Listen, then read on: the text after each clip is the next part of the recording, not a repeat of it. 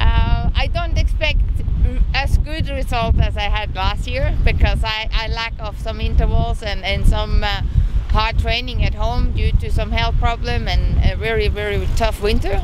But uh, at the same time um, yeah we will see. It's tough co co competition. So uh, I, I don't expect top results but a really really good training. That's enough.